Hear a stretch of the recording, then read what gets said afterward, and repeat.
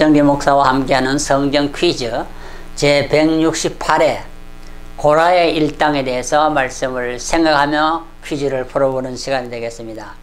아, 고라의 일당은 별명으로 반역자들의 말로라 이렇게 정할 수가 있습니다. 그래서 반역자들의 말로 고라의 일당 이것입니다. 고라의 일당 우리는 고라의 그 인적 사항을 첫째로 생각하면은요 주전 BC 1440년경 출애굽할 당시의 인물이 바로 고라입니다. 고라라고 하는 이름의 뜻은 대머리라 하는 그런 그런 이름의 뜻을 가지고 있습니다. 어, 고라는 고아세 자손으로서 이스라엘의 아들이요 레위의 정선이요 모세의 종형 사촌형이라고 말을 했습니다. 어, 둘째로 고라의 생애에 있어서 중요한 사건이 있는데요. 그는 보면은 어, 오만하고 명예심이 많은 고라라. 오만했다. 명예심이 많다. 명예를 위해서 일평생 투쟁하고 살아가는 사람들이 많이 있습니다.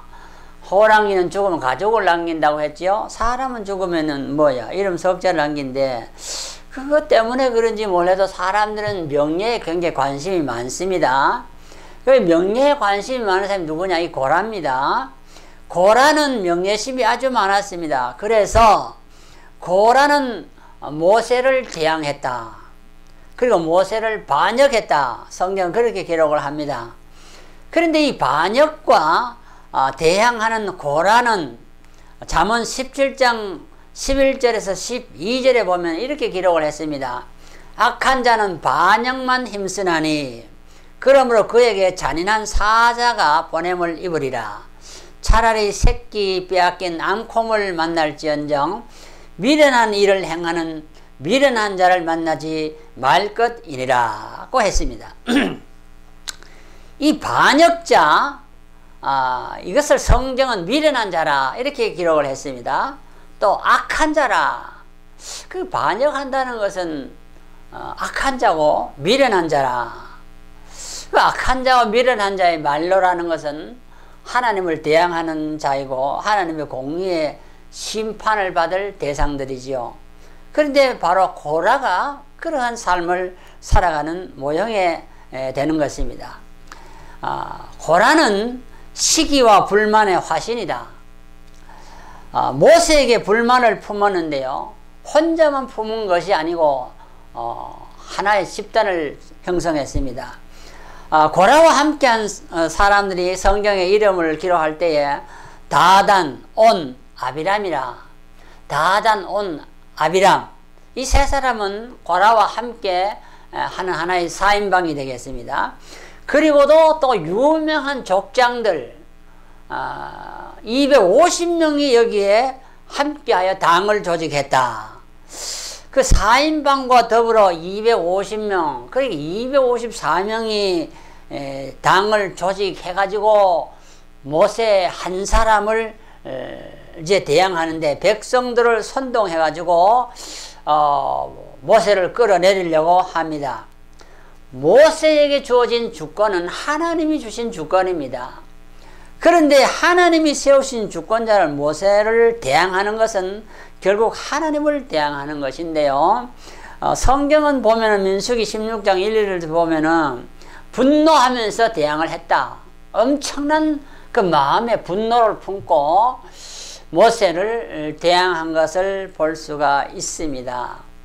어떻게 보면은 족벌로 보면은 아래 사람이니까 대항할 수도 있겠지요. 큰 소리 칠 수도 있겠지만은 아무리 내 아래 사람이라고 해도 하나님이 주권자로 세웠을 때 그것을 대항하면은 안 된다는 것입니다. 나이가 많다고 무조건 하나님이 세우는 것은 아닙니다. 그 다음에 불만의 내용을 가만히 보면은요, 우리가 듣기에는 참으로 타당성이 있어 보입니다.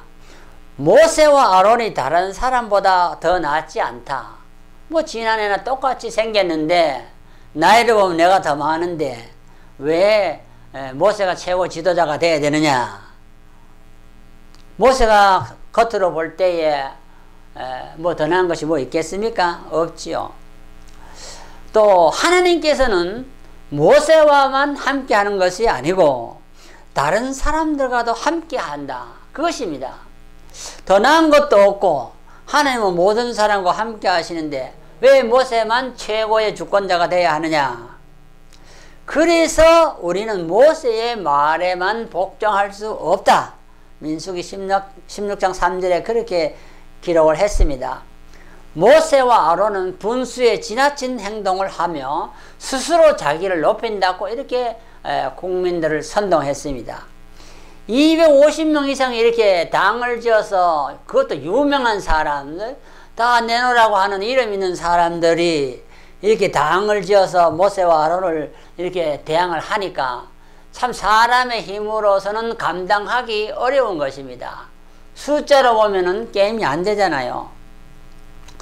그리고 어, 당시에 고라는 성막에서 봉사를 하고 있었습니다. 그런데 누가 분수에 지나친 행동을 하는지는 그러므로 하나님이 심판을 하십니다. 어, 하나님이 최후의 심판자가 되는 것입니다. 특별히 그, 이 고라당의 그 불만의 원인을 자세히 네 가지로 성경을 기록했는데요. 고라는 이렇게 말을 했습니다. 엘리사반이 고핫 가문의 대표다. 아, 그러니까 꼭 모세만 최고 대표가 아니라는 것이죠. 그 다음에 다단과 아비람, 아, 아론의 아들들만이 제사장이 오른다. 왜꼭 어, 제사장의 아들만 거기 제사장이 될 수 있느냐? 우리도 될 수 있다. 그런 뜻이잖아요. 그리고 총회 250명은 자신들의 권위와 권리가 미약하다.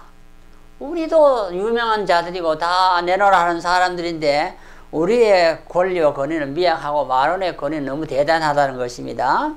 또 백성들의 입장에 볼 때는 모세가 인도하는 이 광야의 길이 너무 힘들고 어렵다는 것입니다. 안 그래도 불만이 많은 어, 백성들에게 고라당의 일당들은 이제 여러 가지 이유를 대면서 모세만이 왜 최고가 되어야 되느냐? 우리도 하나님이 함께 하시고 우리도 어, 모세만큼 훨씬 더 일을 잘할 수 있다는 것입니다. 어, 그래서 이 결론은 어, 하나님의 공의의 심판입니다. 그랬을 때에 하나님은 다수결의 원칙을 따라서 민주주의의 원칙을 따라서 고라당에 손을 들어줬을까요? 그렇지 않다는 것입니다. 어, 모세의 제의로 하나님께서 택한 자의 증명과 표적을 요구했는데 그때 그, 그 보면은요 어, 민수기 16장 7절. 그럼 하나님께서 정말 누구에게 최고의 에, 이 주권을 줬느냐? 하나님의 표적을 구했을 때에 고라와 다단과 아비람은 땅이 갈라졌고 거기 틈이 생겼을 때에 총에 250인과 함께 그 구성에 빠지고 불로 소멸이 되었다. 갈라진 틈에 땅이 입을 벌려서 그들을 삼겼다. 이 4인방을. 그리고 총회원들 200, 유명한 족장들 250명도 불로 소멸이 되었다. 불심판을 받았다는 것이죠. 땅이 입을 벌리는 거, 뭐 지진이 나가지고 땅이 입을 벌렸는지는 모르지만은 땅이 하여튼 입을 벌렸습니다. 성경은 땅이 입을 벌렸다. 왜요? 고라당의 무리를 삼키려고 입을 벌렸다는 것입니다. 그리고 250명 그들과 함께 하던 이 유명한 족장들도 불로 하나님이 소멸을 시켰다. 불심판은 소돔 고모라도 있었는데요. 이 고라당에게도 불심판이 있었습니다. 민수기 16장 32절을 보면은 땅이 그 입을 열어 그들과 그 가족과 또 고라에게 속한 모든 사람과 그 물건을 삼킴에 33절을 보면은 그들과 그 모든 소속이 산채로 음부에 빠지며 땅이 그 위에 합하니 그들이 총회 중에서 망하니라. 그 주위에 있는 온 이스라엘이 그들의 부르짖음을 듣고 도망하여 가로되 땅이 우리도 삼기가 두렵다 하고 여호와께로서 불이 나와서 분양하는 250인을 소멸하였더라. 아, 4인방은 고라를 죽이고 4인방은 땅에 입을 벌려서 땅 속에 생매장을 시켰습니다. 사람이 죽어야 무덤에 들어가는데요. 살아서 무덤에 들어가는 사람이 있습니다. 그 누구냐? 반역자 고라당의 4인방입니다. 그리고 그를 추종하던 또 250명의 유명한 족장들은 도망을 가려고 난리를 쳤지만은 불이 그들을 다 살라버렸다. 성경은 이렇게 기록을 합니다. 아, 그런데 이들이 예, 살아가는 그 중요한 세 번째 업적을 생각해 보면 출애굽하는 동안에 어, 상당히 영향력 있는 지도자들이었습니다. 250명이 다 유명한 족장들이라고 성경에 기록을 보면은요. 출애굽하는 그 광야 생활에서 오랫동안 이들은 모세와 함께 많은 영향력을 발휘했던 사람이 틀림없습니다. 특별히 그들은 성전에서 특별 봉사를 하던 레위 족속이었습니다. 아, 레위 족속, 하나님의 성전에서 하나님만을 봉사하는 그런 레위 족속이었다는 것입니다. 보통 평민이 아니죠. 그런데 여기 보면은 이 고라당과 그 무리들이 다 이렇게 멸절당하고 하나님의 공의의 심판을 받았지만은 그 고라당의 후손들을 우리가 가만히 보면은요, 후손들은 어, 부모의 길을 따라가지 않고, 아, 우리의 조상들이 잘못해서 멸망당하는 것을 보고, 어, 참으로 자기 길에 성실했던 것을 볼 수가 있습니다. 아, 부전자들의 말도 있는데요. 부모가 잘못되면 자녀들도 잘못된 길을 걸어가기 쉬운데 성경은 이 고라의 후손들은 그렇게 살지 않았다는 것입니다. 10편 42편에서 49편 그리고 84편, 85편, 87편, 87편을 기록할 정도로 성전에서 충실히 노래하면서 하나님을 찬양하며 하나님을 섬겼다. 그렇게 기록을 하고 있습니다.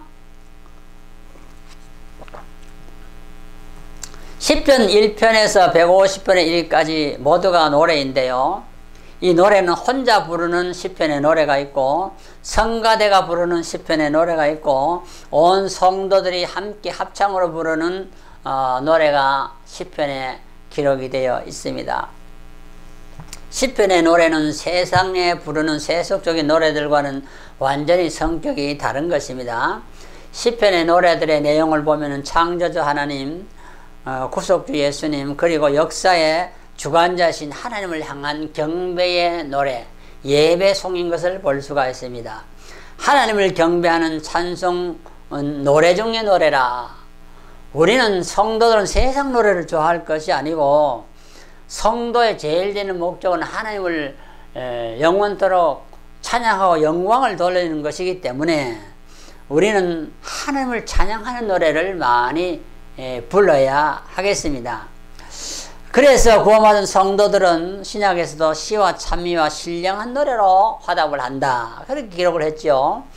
우리의 삶을 통해서 하나님을 영원하게 하는 그 최상의 방법이 하나님을 찬양하는 것입니다. 그래서 예배 시간에도 찬양이 많고요. 우리의 개인 삶에 있어서도 예배의 연속이기 때문에 우리는 늘 운전을 할 때도 우리가 개인적으로 있을 때도 늘 찬양을 많이 하는 것이 좋습니다. 찬양은 구원받은 하나님의 백성들의 목적이라 에베소 1장 6절 하나님 왜 우리를 구원하셨느냐 하나님을 찬양하기 위함이라 그것입니다. 이 고라당의 단점을 우리가 생각해 보면요 하나님이 허락하신 자신의 직분의 중요성을 망각했다. 하나님은 어, 이 지체들에게 각자에게 주어진 어, 직무가 다르다는 것입니다. 다 똑같은 일을 하는 것이 아닙니다. 다 눈이 되어서 보기를 원하는 것도 아니고요. 다 발이 되어서 무거운 짐을 지고 하루 종일 돌아다니는 것도 아니고요. 다 귀가 되어서 듣기만 하는 것도 아니고요. 이 사지백체를 하나님이 주실 때에 지체마다 기능이 다른데 이 지체가 저 지체보다 나은 것도 하나도 없습니다. 적은 뇌 속에 실핏줄이 하나 터져도 뇌출혈로 죽는 경우가 있습니다. 우리는 사지백체 신경세포 머리카락 하나 실핏줄 하나도 하나님이 간섭해 주지 않으면 우리는 순간적으로 죽게 되는데요. 이 실핏줄 하나도 자기의 사명을 잘 이렇게 지키는 것이 그 지체의 사명입니다. 그 못하면 죽지요. 그 다음에 명예에 대한 탐욕이 너무 많았다.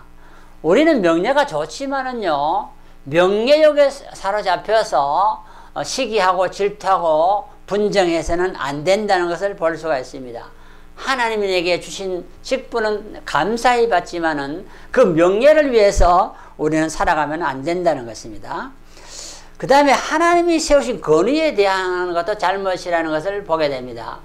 비록 나이가 어려도 말을 잘못해도 어, 하나님이 그 모세를 최고 지도 삼았을 때 하나님 주신 주권이기 때문에 그를 대항하는 것은 어, 아무리 수가 많고 유명하고 나이가 많아도 잘못되었다는 것을 보게 되는 것입니다. 모든 주권은 하나님께로부터 온다. 신약 성경도 그렇게 가르쳐 줍니다.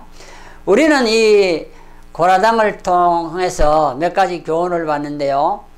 궁극적인 목표 성취를 위한 열망을 우리가 아, 갖는 것은 좋습니다. 그러나 탐욕에 의한 욕심, 욕망은 어, 안 되는 것입니다. 하나님의 뜻을 향한 열망은 좋지만은요, 하나님의 뜻을 성취하기 위해서 열망을 품어야 돼요. 열심을 품고 주를 섬기라고 했으니까.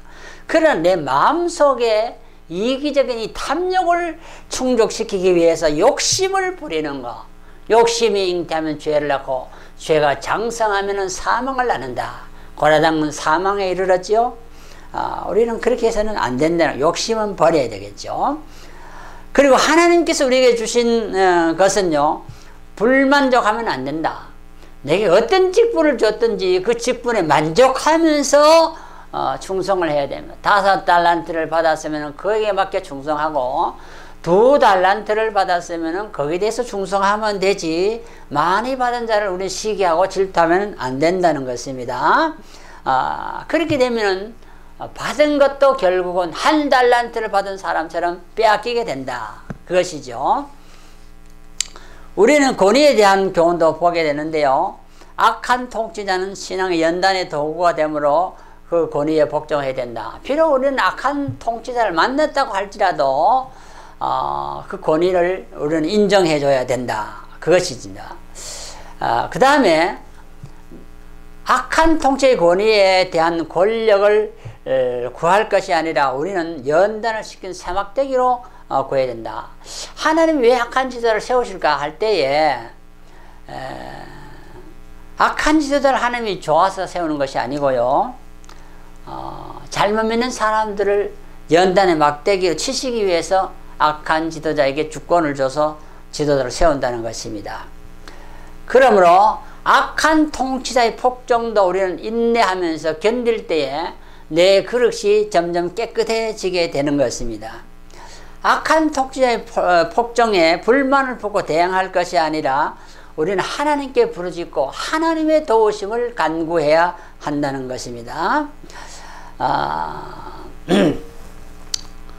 가난이 함의 잘못으로 저주를 받아 불행한 것에 비해서 가난이 잘못했, 함이 잘못했지만 가난이 저주를 받았잖아요.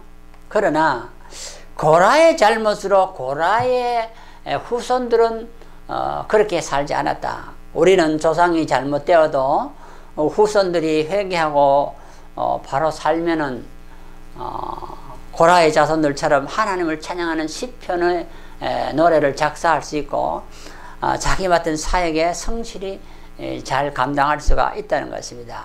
이제 마지막으로 몇 가지 성경 퀴즈를 우리가 함께 풀어보는데요. 고라의 가문은 어떤 가문이냐 했는데 그는 고아 자손 이스라엘 아들 레위의 증손 모세의 종형이라 참 가문이 좋지요. 성긴 좋은 레위의 가문입니다. 아, 최고 지도자 모세의 다 그 형제들이죠. 그 다음에 반역만 힘쓰는 자는 어떻게 되느냐 할 때에 성경은 어떤 자나 할 때에 악한 자, 미련한 자라 그렇게 말을 했습니다. 모세와 아론을 대항하여 싸운 자들은 누구냐 했는데 다단 온 아비람 그리고 유명한 족장 250일이나 하고 했습니다. 숫자가 많아도 소양이 없습니다. 산채로 매장된 사람들은 모두 몇 명이냐 하는데 고라 아당 4명과 가족 250명 아, 그의 추종자들 250명이라 했는데 사람이 죽어서 무덤에 묻혀야지 살아서 숨을 쉬고 눈을 뜨고 볼 수 있는데 생매장이 된다는 것은 참으로 치욕이죠. 그 다음에 고라의 후손들이 에, 지은 시편은 얼마나 되느냐 했는데 시편 42에서 49편까지 84, 85, 87, 88 총 12편이 시편에는 150편 중에 기록이 되어 있습니다. 아, 엄청나게 많은 시편을 기록했습니다. 오늘 우리는 지금까지 에, 이 반역자들의 말로 어, 고라당의 일당을 생각하면서 말씀을 상고하고 퀴즈를 풀어보았습니다.